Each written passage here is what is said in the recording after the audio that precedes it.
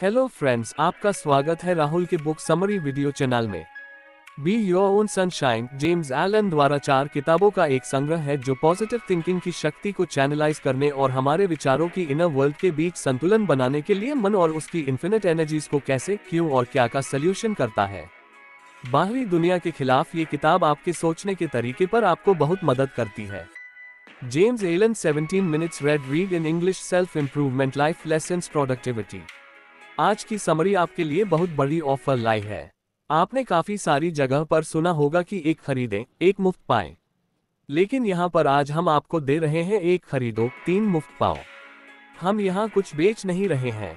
बस आपको ये बात रहे हैं कि आज हम एक ऐसी किताब के बारे में बात करने वाले हैं, जिसमें जेम्स एलन की चार ब्लॉकबस्टर किताबों को एक साथ बताया गया है। इसका नाम है बी योर ओन सनशाइन।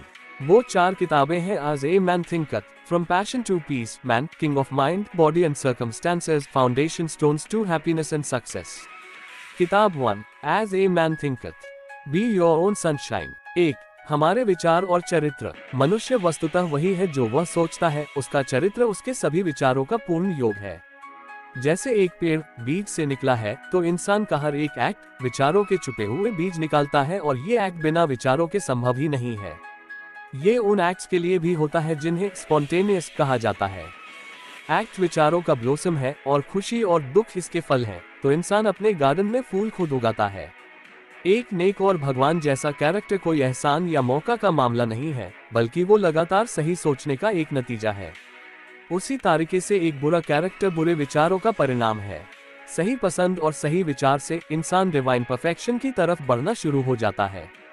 और विचार के गलत एप्लीकेशन से वो राक्षस से भी नीचे गिर जाता है। एक इंसान ताकत इंटेलिजेंस और प्यार से भरा और अपने विचार का भगवान है, इसके लिए उसके पास हर एक सिचुएशन की चाबी होती है और एक ऐसी एनर्जी होती है, जिससे कि वो अपने आप को जैसा चाहिए वैसा बना सकता है। दो अब जानते हैं हमारे विचार का हमारे हालात पर क्या असर पड़ता है। इंसान का दिमाग एक गार्डन जैसा है, जिसे इंटेलिजेंटली उगाया भी जा सकता है, ये जंगली बनने के लिए छोड़ा भी जा सकता है। लेकिन इन दोनों में से जो भी हो, फ़ायदा या नुकसान तो इंसान का ही है। अगर कोई भी काम के बीज दिमाग में नहीं डाले गए तो बहुत सारे बेकार के बीज वहाँ पर अपने आप उग जाएँगे और अपने जैसे और भी प्रोड्यूस करने लगेंगे। जैसे एक माली अपने प्लॉट को उगाता है, उसे सारे वीड से दूर रखता है और अच्छे फूल और फल उगाता है, उसी तरह हमें भी अपने दिमाग में से सारे गंदे बीज यानी अशुद्ध विचार निकलने होंगे और फूल और फल यानी शुद्ध विचार उगाने होंगे। ऐसा करके आपको ये पता चलेगा कि इंसान अपनी आत्मा का मास्टर माली है और अपनी ज़िंदगी का डायरेक्टर है। इंसान तब तक अपनी हालत में उलझा रहता है जब तक वो ये मानता है कि वो बाहरी परिस्थितियों का क्रिएचर है। लेकिन जब वो ये रियलाइज़ करता है कि उसके पास सारी क्रिएटिव पावर है और वो अपनी परिस्थितियों को कंट्रोल करता है तो वो अपना सही मास्टर बन जाता है। हर एक विचार के बीच जिसे दिमाग में जाने दिया गया हो या खुद डाला गया हो, वो अपनी जड़ें वहाँ बनाना शुरू करता है और अपने तारीके के और प्रोड्यूस करता है। यानी आपके विचार आपके अवसर और परिस्थितियों को नियंत्रित करते हैं। अच्छे विचार अच्छे आते हैं, बुरे विचार बुरे फल देते हैं। अच्छे विचार और अच्छे कार्य कभी भी बुरे परिणाम नहीं उत्पन्न करते, बुरे विचार और बुरे कार्य कभी भी अच्छे परिणाम नहीं उत्पन्न कर सकते। ये बात तो सभी लोग जानते हैं कि अगर आप आम का पेड़ लगाएँगे तो आपको सेब नहीं मिलेंगे, लेकिन बहुत कम लोग इसे मेंटल और मॉरल दुनिया में समझते हैं। और इसलिए बहुत काम लोग इसके साथ काम करते हैं। तीन अब जानते हैं हमारे विचार का हमारी सेहत और शरीर पर क्या असर पड़ता है? शारीर दिमाग का सर्वेंट है। वो दिमाग के सारे ऑपरेशंस को मानता है, चाहे उन्हें सोच समझकर चुन लिया गया हो या ऑटोमेटिकली एक्सप्रेस किया गया हो। गलत विचार की वजह से शरीर में बीमारी बहुत तेज़ी से आती है। अच्छे विचार की वजह से वो जवानी और सुंदरता से भर जाती है। बीमारी और सेहत हालात जैसे विचारों से आते हैं। बीमारी के विचार अपने आप को बीमार बॉडी के ज़रिए एक्सप्रेस करते हैं। जो लोग बीमारी के डर में रहते हैं, वो वही लोग हैं जिन्हें वो बीमारी होती है। टेंशन पूरी बॉडी को तोड़ सा देती है और उससे बीमारी के लिए खुला छोड़ देती है। मज़बूत, शुद्ध और खुशी के विचार शरीर को बनाते हैं। बॉडी एक नाजुक और प्लास्टिक इंस्ट्रूमेंट है जो बहुत जल्दी विचार पर प्रतिक्रिया करती है। अब वो विचार अच्छे हो या बुरे, बॉडी तो उन्हीं के तरह से रिस्पॉन्ड करती है। एक साफ़ दिमाग से एक साफ़ ज़िंदगी और साफ़ बॉडी आती है। एक बुरे और गंदे दिमाग से एक बुरी और करप्ट बॉडी आती है। डाइट में बदलाव उस इंसान को मदद नहीं करेगा, जो कि अपने विचार नहीं बदलेगा। जब एक इंसान अपने विचार को शुद्ध करता है तो वो ऑटोमेटिकली अशुद्ध खाने को चाहना छोड़ देता है। साफ़ विचार साफ़ आदतें बनाती है। लेखक कहते हैं कि वो एक ऐसी औरत को जानते हैं, जो कि छियानवे साल की है और उनके पास ब्राइट और मासूम चेहरा है, बिल्कुल जवान लड़कियाँ जैसा। वो ये भी कहते हैं कि वो एक आदमी को जानते हैं जो मध्यम आयु के हैं, लेकिन उनका पूरा चेहरा डल और सुस्त हो गया है। एक परिणाम है मधुर और अच्छे विचार का, वही दूसरा परिणाम है असंतोष का। जैसे आपके कमरे में तब तक साफ़ हवा नहीं हो सकती, जब तक आप खिड़की और दरवाजे को ना खुले और हवा को आने दें, वैसे ही आपके पास एक चमकदार चेहरा और मज़बूत बॉडी तब तक नहीं हो सकती है, जब तक आप खुशी और गुडविल के विचार अपने दिमाग में ना आने दें। चार, हमारे विचार और उद्देश्य। जब तक सोच को मकसद से लिंक ना किया जाए, तब तक कोई इंटेलिजेंट अकम्पलिशमेंट है ही नहीं। जिन लोगों के पास ज़िंदगी में कोई सेंट्रल उद्देश्य नहीं होता, वो लोग चिंताएँ, डर और परेशानियों में आसनी से फंस जाते हैं, जो कि उनको निराशा और नुकसान की तरफ़ लेकर जाता है। एक इंसान को अपने दिल में एक लजितमत मकसद रखना चाहिए और उसे पाने की कोशिश करनी चाहिए। इस उद्देश्य को अपने विचारों का केंद्रीय बिंदु बनाना होगा। ये उद्देश्य एक आध्यात्मिक विचार हो सकता है या कोई भौतिकवादी चीज़ हो सकती है, चाहे वो जो भी हो, आपको अपने विचारों को उस पर ध्यान केंद्रित करना है। आपको इस उद्देश्य को अपना सर्वोच्च कर्तव्य बनाना चाहिए और उस पर काम करना चाहिए और अपना समय फालतू की चीज़ों पर बर्बाद नहीं करना चाहिए। Be your own sunshine book ये सेल्फ कंट्रोल और विचार के सही कॉन्सेंट्रेशन की रॉयल रोड है। अगर आप उस उद्देश्य को पूरा करने में विफल भी हो जाते हैं, तब भी कोई समस्या नहीं है क्योंकि आपको ताकत मिलेगी, वही आपकी सच्ची सफलता है और आप एक नए पॉइंट से फिर से शुरू कर पाएँगे। अपना उद्देश्य तय करने के बाद, आपको उस उद्देश्य को प्राप्त करने के लिए मानसिक रूप से एक रास्ता बनाना होगा, न तो बाई ओर और न ही दाई ओर देखना है। शक और डर को पूरी तारीकी से हटाना है क्योंकि वो ऐसे तत्व हैं जो आपके प्रयासों को तोड़ देते हैं। शक और डर से कभी कुछ हासिल नहीं हुआ और ना ही कभी होगा। वो हमेशा फेलियर तक लेकर जाते हैं। उद्देश्य, ऊर्जा और मज़बूत विचार, ये सब टूट जाते हैं जब संदेह और डर आता है। किसी चीज़ को करने की चाह हमें नॉलेज से आती है कि हम उसी चीज़ को कर सकते हैं। लेकिन शक और डर नॉलेज के सबसे बड़े दुश्मन हैं।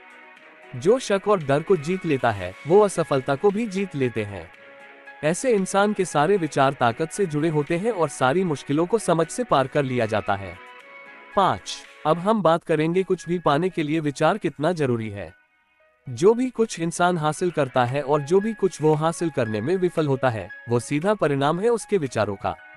एक आदमी की कमजोरियाँ और ताकत, पवित्रता और अशुद्धता उसी की है, न कि किसी और की, और ये उसी ने लाई है। उसकी हालत भी उसी की है, और न ही किसी और की। उसकी पीड़ा और उसकी खुशी अंदर से आती है, बाहर से नहीं। जैसा वो सोचता है, वैसा वो बनता है। एक इंसान तभी ऊपर उठ सकता है और हासिल कर सकता है। जब वो अपने विचारों को उठाता है। वो अपने विचारों को उठा ना करके सिर्फ़ कमज़ोर और दयनीय ही रह सकता है। यूनिवर्स लालची, झूठे लोगों को फेवर नहीं करता है, भले ही ऊपर से देखने में ऐसा लग सकता है, बल्कि सच है कि वो अच्छे लोगों की मदद करता है। युगों के सारे टीचर्स ने इसे अलग अलग तरीके से डिक्लेयर किया है और इसे जाने और प्रूफ के लिए एक इंसान को और सच्चा बनाना पड़ेगा और अपने विचारों को ऊपर उठाना होगा।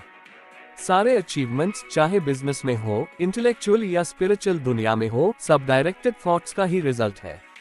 वो एक ही कानून में काम करते हैं और तरीका भी वही है, फ़र्क है तो बस पाने वाली चीज़ का।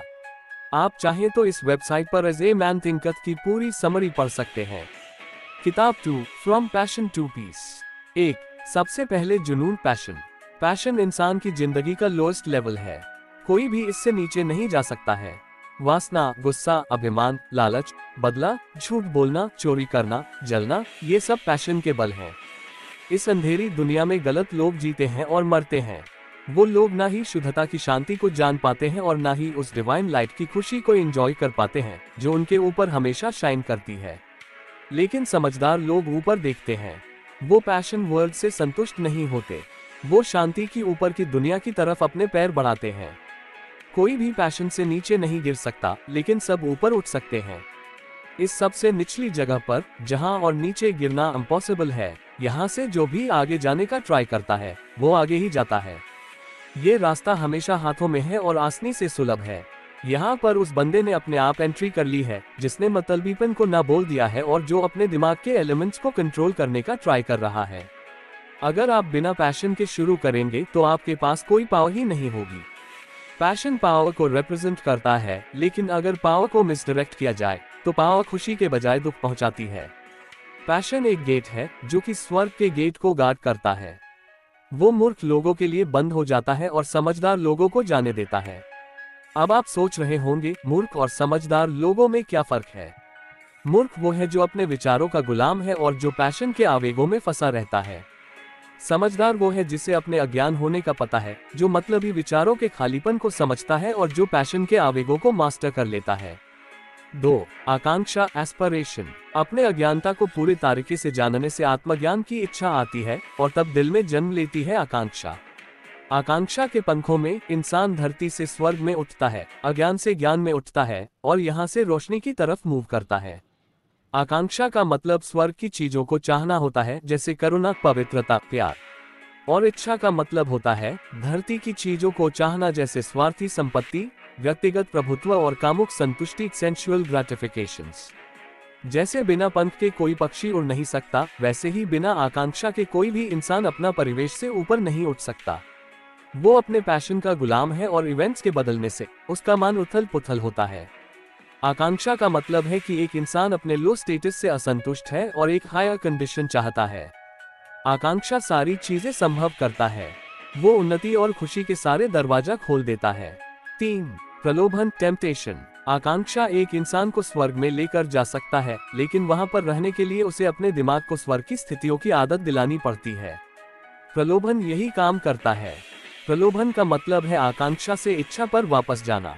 ये तब तक आकांक्षा को डराता है, जब तक एक ऐसा बिंदु नहीं आ जाता, जब इच्छा शुद्ध ज्ञान के पानी में पूरी तरीके से डूब जाए। सफलतापूर्वक जीतने के लिए एक इंसान को बुरे से बाहर आना होगा और अपने आप को प्रेजेंट करना होगा। और प्रलोभन की वजह से ही एक इंसान का बुरा बाहर आता है। आकांक्षा का मतलब होता है कि एक इंसान ने कम से कम ऊपर उठने का एक कदम लिया है, और इसलिए वो पीछे भी आ सकता है। ये बैकवर्ड अट्रैक्शन का मतलब टेम्पटेशन होता है। प्रलोभन के तत्व अशुद्ध विचारों में होते हैं। चार, श्रेष्ठता ट्रांसेंडेंस जब एक इंसान टेम्पटेशन की डार्क स्टेज को पार कर लेता है तो वो एक संत बन जाता है। एक संत वो है, जो सेल्फ प्योरिफिकेशन चाहता है, जो सेल्फ प्योरिफिकेशन के रास्ते को समझता है और जो अपने आप को परफेक्ट करने में लगा रहता है।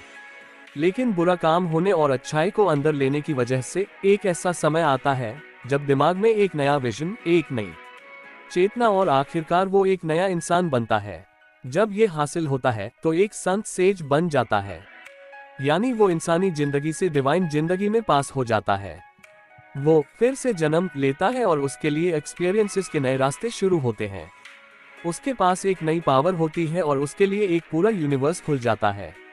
ये ट्रांसेंडेंस की स्टेज है, जैसे लेखक ट्रांसेंडेंट ज़िंदगी कहते हैं। जब टेंशन डाउट और परेशानी खत्म हो जाती है, जब वासना और गुस्सा विचार में भरे नहीं होते। जब एक इंसान अपनी हालत के लिए किसी और को दोष नहीं देता है, और जब सारे स्थितियों को अच्छा समझ जाता है, क्योंकि वो कारण का परिणाम है, तब ट्रांसेंडेंस पाई जाती है। तब लिमिटेड पर्सनालिटी बाहर आती है डिवाइन ज़िंदगी को जाना जाता है, और एक इंसान बुरे से ऊपर उठता है और सब में अच्छाई देखी जाती है। डिवाइन कॉन्शियसनेस इंसान का एक इंटेंसिफिकेशन नहीं है, बल्कि ये चेतना का एक नया रूप है। ट्रांसेंडेंट ज़िंदगी पैशन से नहीं, बल्कि प्रिंसिपल से जी जाती है। उसमें एक इंसान इम्पल्सेस में नहीं फंसा रहता है, बल्कि कानूनों का पालन करता है। जब एक इंसान पैशन में शामिल रहता है, तब वो अपने आप को काफ़ी चीज़ों पर बर्डन करता है। लेकिन एक ट्रांसेंडेंट ज़िंदगी में ऐसा कुछ भी नहीं है। उसमें व्यक्तिगत हित यूनिवर्सल उद्देश्य की जगह हो जाते हैं। पाँच, धन्यता बी एटीट्यूड जब डिवाइन अच्छाई अभ्यास की जाती है तो ज़िंदगी खुशी से भर जाती है। खुशी एक अच्छे इंसान की नॉर्मल कंडीशन है। बाहर के हालात, परेशानियाँ, जो कि दूसरे लोगों को सफरिंग लग कर देते हैं, वो उसकी खुशी को और ज़्यादा बढ़ाते हैं, जिसकी ज़िंदगी खुशी से भरी है। ह्यूमन वर्चू खुद से भरी है, इसलिए उसमें दुख है। लेकिन डिवाइन वर्चू में से दुख हट जाता है और ज़िंदगी में सिर्फ़ खुशी भरी होती है। तो वो कौन से ट्रांसेंडेंट गुण हैं जिनके अंदर खुशी और आनंद है? वो है, निष्पक्षता, इंसानी दिल और इंसानी एक्शंस में इतना ज़्यादा गहराई से देखना जिससे एक इंसान की या एक पार्टी के साथ साइड लेना असंभव हो जाए। असीमित दयालुता सारे लोगों के लिए, जीवों के लिए, चाहे दुश्मन हो या दोस्त। हर वक्त और सारे हालात में परफेक्ट पेशेंस सा। दिमाग की स्टेनलेस शुद्धता, इसका मतलब सारे बुरे विचार और अशुद्ध कल्पना से आज़ादी। छह शांति। जहाँ पैशन है, वहाँ शांति नहीं है, जहाँ शांति है, वहाँ पैशन नहीं है। लोग शांति के लिए प्रार्थना करते हैं, लेकिन पैशन से चिपके रहते हैं। नफरत और प्यार एक ही दिल में नहीं बह सकता। आत्मविजय के रास्ते से परफेक्ट शांति हासिल होती है। जिसने ये एहसास कर लिया है कि दुनिया का दुश्मन बाहर नहीं, बल्कि अंदर है, कि अनियंत्रित विचार, भ्रम और मुश्किल का स्रोत है, वो इंसान अपने आप संत के रास्ते पर है। अगर एक इंसान वासना और गुस्से को, नफरत और गर्व को, स्वार्थ और लालच को जीत लेता है तो वो अपने आप दुनिया जीत लेता है। अब शांति उसी के साथ रहती है। साफ़ दिल वाले लोगों के पास शांति होती है। वो उनके एक्शन में एंटर करती है, फिर उनकी लाइफ में। किताब three, man, king of mind, body and circumstances. Be your own sunshine summary. एक, आदतें, इसकी गुलामी और इसकी आज़ादी। इंसान के ऊपर हैबिट्स के कानून लागू होते हैं। तो फिर क्या इंसान फ्री है? लेखक कहते हैं हाँ वो फ्री है। इंसान अपनी ज़िंदगी और उसके कानून नहीं बनाता। वो अटर्नल है। वो उन कानूनों को समझ सकता है और उनका पालन कर सकता है। इंसान के पास इतनी ताकत नहीं है कि वो जीने के कानून बना सके। इंसान ने एक भी यूनिवर्सल कानून नहीं बनाए हैं। वो चीज़ों के ज़रूरी सिद्धांत हैं, जिन्हें न ही बनाया जा सकता है और न खत्म किया जा सकता है। इंसान, नेचर की वजह से एक आदत का इंसान है और वो इसे नहीं बदल सकता, लेकिन वो अपनी आदतों को बदल सकता है। वो प्रकृति के कानूनों को नहीं बदल सकता, लेकिन वो आपको प्रकृति को कानूनों के अनुसार बदल सकता है। कोई भी इंसान ग्रेविटेशन के नियमों को नहीं बदल सकता, लेकिन वो सब अपने आप के अनुसार बदल सकते हैं। वो उसका इस्तेमाल करते हैं, झुककर, ना ही इग्नोर करके। कोई भी इंसान ये सोचकर दीवारों है पर नहीं चलता कि कानून उनके लिए बदल जाएगा। वो नीचे चलते हैं और कानून के अनुसार अडेप्ट करते हैं। वैज्ञानिक और आविष्कारक फ़िज़िकल फोर्सेस और लॉस को मास्टर करते हैं। उनका पालन करते वैसे ही एक समझदार इंसान स्पिरिचुअल शक्ति और कानून को मास्टर करता है। जहाँ एक बुरा इंसान आदतों का गुलाम है, वहीं एक अच्छा इंसान उसका डायरेक्टर और मास्टर है। तो अब बुरे और अच्छे इंसान में क्या फ़र्क है? अच्छा इंसान वो है जिसकी थॉट्स और हैबिट्स के एक्शन अच्छे हैं। बुरा वो है जिसके विचार और कार्य बुरे हैं। बुरा इंसान अपनी आदतों को बदलकर अच्छा इंसान बनता है। वो कानून को नहीं बदलता है, बल्कि अपने आप को कानून के अनुसार बदलता है। आदत रेपटिशन है। इंसान वही विचार, वही काम और वही अनुभव को बार बार दोहराता रहता है, जब तक वो उसके अंदर नहीं चले जाते और उसके कैरेक्टर का हिस्सा नहीं बन जाते। सारे इंसान अपनी आदत के सब्जेक्ट हैं, भले ही वो अच्छी हो या बुरी। ये जानने के बाद, समझदार इंसान अपने आप को अच्छी आदतों का सब्जेक्ट बनाता है और खुशी और फ्रीडम से भारी ज़िंदगी जीता है। वही जो बुरी आदत का सब्जेक्ट बनता है, उसकी ज़िंदगी दुख से भर जाती है। इंसान अपनी गलत थॉट्स के अलावा, किसी से भी ताकत से नहीं बंधा है और इसे वो अपने आप को फ्री कर सकता है। इंसान को अपने विचार से उठना होगा जैसे, मैं नहीं उठा सकता। मैं अपनी बुरी आदतों को नहीं छोड़ सकता। मैं अपने आप को नियंत्रित नहीं कर सकता, मैं अपने आप को जीत नहीं सकता। ये सारे नहीं का अस्तित्व वास्तविकता में है ही नहीं, ये बस विचार में मौजूद है। ये बुरे विचार हैं जिन्हें हटाना होगा और उनकी जगह मैं कर सकता हूँ कि सकारात्मक विचार प्लांट करने होंगे और ऐसा तब तक करना होगा, जब तक सकारात्मक विचारों का एक पेड़ नहीं तैयार हो जाता है। आदतें हमें बांधती हैं और वही हमें मुक्त करती हैं। आदत पहले सोच में है, बाद में एक्शन में। सोच को बुरे से अच्छा करो और एक्शन अपने आप फॉलो करेंगे। बुरे विचार को बार बार करते रहो और वो आपको और तंग बांधता रहेंगे। अच्छे विचार को बार बार करते रहो और वो आपको फ्री कर देंगे। दो, शारीरिक स्थितियाँ। बॉडी दिमाग की इमेज है और उसमें हम छिपे हुए थॉट्स के फीचर्स देख सकते हैं। बाहर, अंदर की बात मानता है। और फ्यूचर के साइंटिस्ट्स बता पाएँगे कि कैसे मेंटालिटी बॉडी को अफेक्ट करती है। एक बीमार दिमाग, एक बीमार बॉडी से भी ज़्यादा बेकार है, क्योंकि बीमार दिमाग से बॉडी भी बीमार होती है। जो भी अपने आप को इंसान कहते हैं, उन्हें अपने बीमार थॉट्स को हटाना होगा। जो भी इंसान ये कहता है कि जो वो कहना कह रहा है, वो उसे बीमार कर देगा, उसे इसे बंद करना होगा। धरती के वो फल, जिन्हें खाया जाता है, जब एक इंसान भूखा होता और खाने को खोज रहा होता है, उनके बारे में ये कल्पना करना कि वो सेहत और ज़िंदगी के लिए हानिकारक है, गलत है। इसे हम नेचर और खाने को मिसअंडरस्टैंड कर रहे हैं। खाने का एक काम है, शरीर को बनाए रखना और बचाना, न कि उससे खराब करना। तीन, गरीबी। काफ़ी सारे महान लोगों ने अमीरी को छोड़ा और गरीबी को अपनाया, जिससे वो लोग अपने मकसद को अच्छे से हासिल कर सके। तो फिर गरीबी को इतना बुरा क्यों समझा जाता है? ऐसा क्यों है? जिस गरीबी को महान लोगों ने एक आशीर्वाद माना, उसी गरीबी को लोग अच्छा नहीं मानते हैं।